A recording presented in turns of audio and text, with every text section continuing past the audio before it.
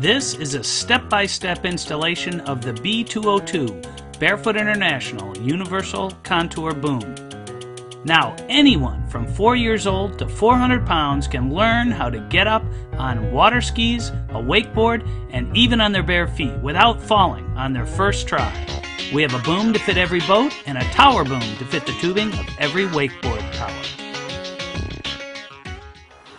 Welcome to sunny Winter Haven, Florida. I'm Lane Dog Bowers, and today we're talking to you about a boom installation. Today we're doing a boom installation on a Mastercraft ProStar, but we have a boom to fit every boat. This is the Universal Contour boom, but it doesn't matter if you got a deck boat, it doesn't matter if you got a fishing boat, doesn't matter what type of boat you have, we have a boom to fit your boat. And if you don't have a ski pylon, we also have a boom that'll fit any the tubular tubing of any wakeboard tower. And uh, if you have a boat like a fishing boat, we've got a gunnel mount boom if you don't have any of those things on it. So no problem. But today we're going to be going over standard installation. What we have here is your boom basically comes with a boom clamp which we're going to show you how to mount that to the ski pylon in this installation. It could also mount to a, uh, the, uh, for a V drive, it'd mount to the ski pylon in the rear, or we have a boom clamp that mounts to a tower, or we have a brace that mounts uh, in a gunnel mount boom. But we've got our bracket that mounts to the ski pylon. We've got the main part of the boom right here that's going to curve to the outside section of the boat. And this is the part that you hang on with the knurled section and the red thing. We've got two cables that are running to the front that will adjust. And here are two accessories that are real common that uh, the customer ordered. Uh, this is a boom extension, 18 inches, that goes between the first piece and the second piece, which helps get people out of the chine spray. And then we have a height adjuster. We'll show you how both of these work. But now we're going to hop into the boat. We're going to show you first how to mount the clamp and then how to mount the rest of the boom. This will take, even a person who's never done this before, it'll take less than an hour to do it following the instruction in this video. One.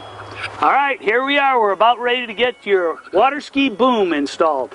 And just so you know, a lot of people ask us, this is a standard ski pylon, which is two and a half inches, is standard length. Very, very few people uh, Flight crafts have a three inch pylon, but standard pylon for a boat is two and a half inches. And what uh, this is the boom clamp. And all we're going to do is I'll show you is this is going to clamp onto here. A lot of people ask, hey, I got it, it's tapered. Never, never attach this clamp to the tapered section of your boom. We're going to attach it down here. The customer wants to go out driver's side. You can go out driver or passenger. On this particular boat, it's very critical the measurement between where the ski pylon is and where the end of the windshield is. Assuming there's no wakeboard tower in the way. We have a wakeboard tower, it is not in the way of the boom. This particular windshield ends just past the ski pylon. Any windshield that ends 8 inches or less past the ski pylon, so if you drew a string from here to there, there's only, I don't know, it looks like about 2 or 3 inches difference that would call for a universal contour boom. So here we go. We've got our boom clamp, and then what we're going to do is we've got two pins. It's very easy installation, and we go right here like this. Put that one in there, this one in here, and then all we're going to do is tighten that up. This will go over top of the clamp like this, and all we are going to do is tighten this up a little bit.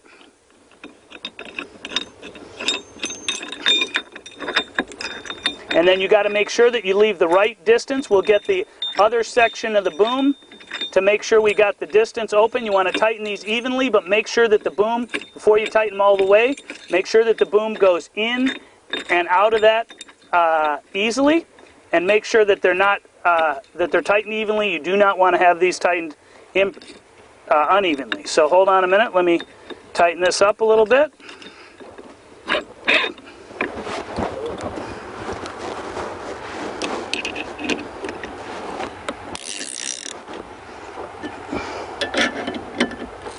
That's pretty much it. That's all you need. Now, I want to show you. Here's the quick release pin.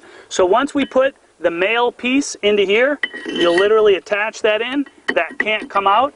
And what we're going to do in this particular installation is we are going to use a height adjuster. This comes in real handy when you want to adjust the height of your boom without having to adjust. If you want, you could adjust the height of this bracket up to, but not onto the tapered section. But in this case, the customer has decided to get our height adjuster, which is pretty handy. We're going to slip this into here like this. Um, actually, we'll use the quick release pin that comes in the boom clamp, main boom clamp. And that just slips in right like this. Okay, that's in there.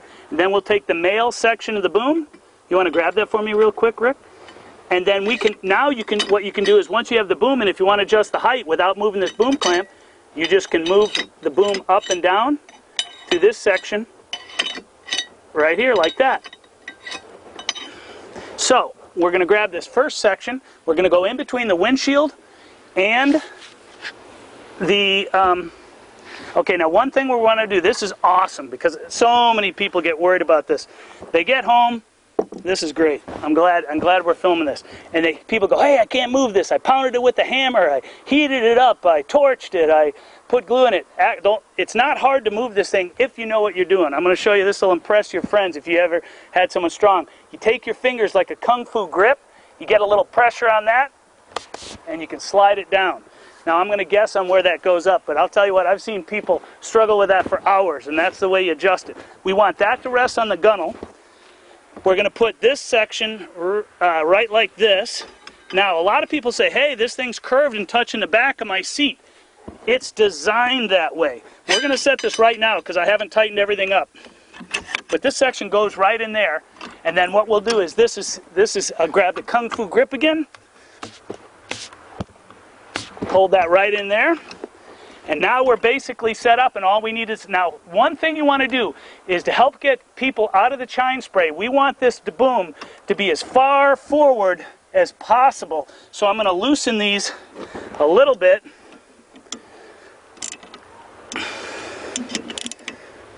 I'm going to loosen a little bit and we're going to pull it right to there, as close to the windshield without touching it as possible.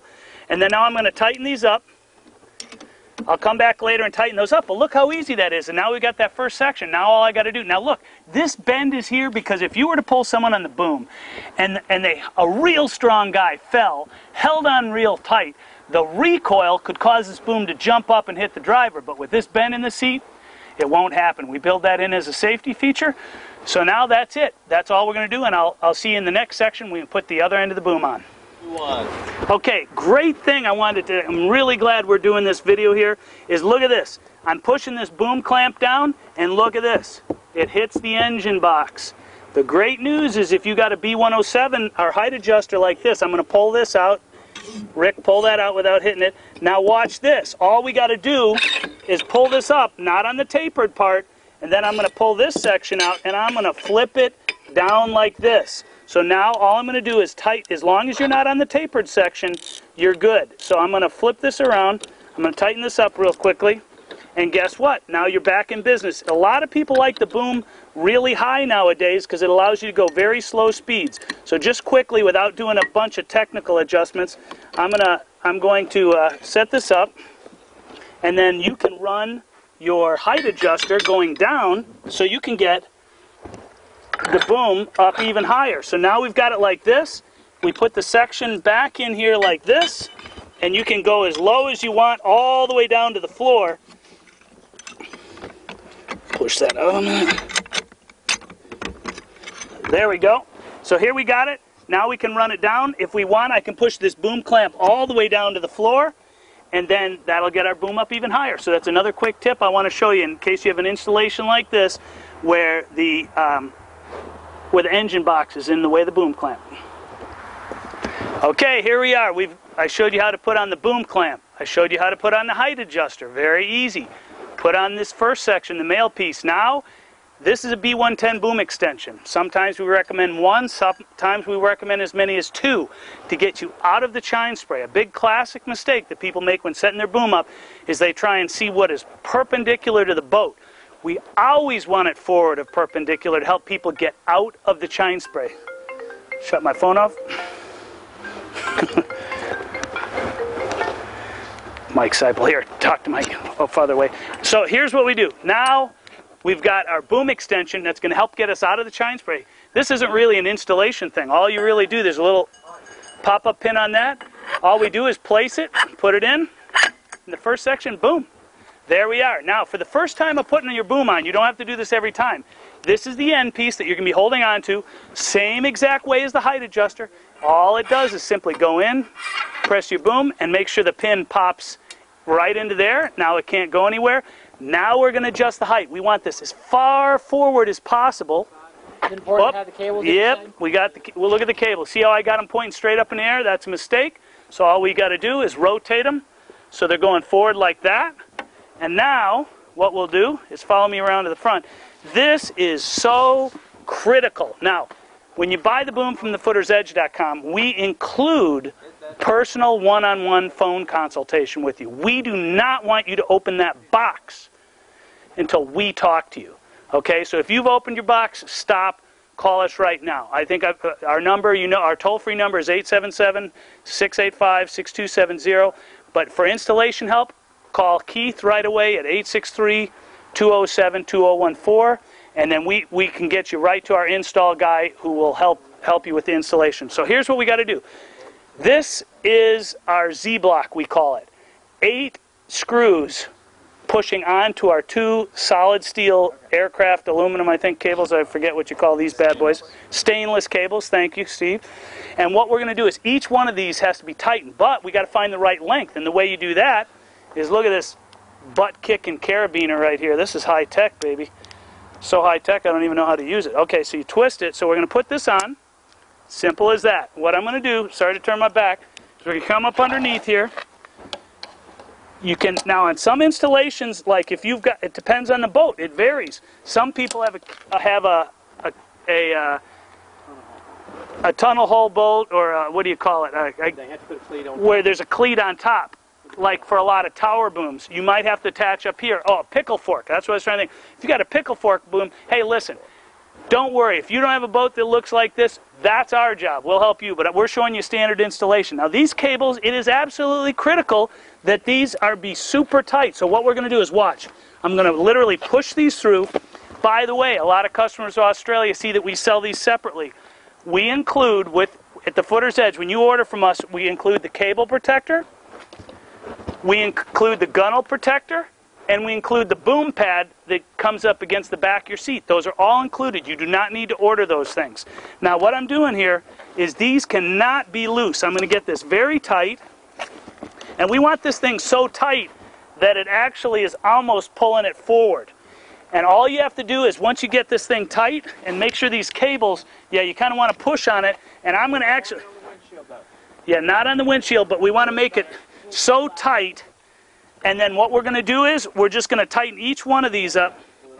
Got to get it off the windshield. Hold on. Yeah, but the thing is it gets tighter. So you want it super tight like it's right on the edge of the windshield. We just didn't want it rest no more. And then what we're going to do is each one of these has got to be individually tightened. You want to do one at a time. So what I'm doing is coming, and by the way, this Allen wrench is included.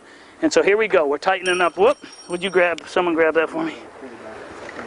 I'm holding these uh, cables tight so I don't lose them.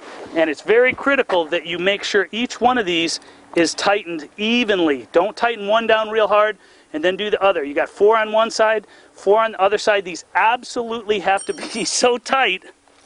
There you go. These have to be tight, almost like you're, they're going they're pulled. The cables are too tight, and then you're going to double check because you want it to be hard to get that carabiner on. Now I'm going to flip this thing over, and I'm going to now I'm going to do this side real quickly.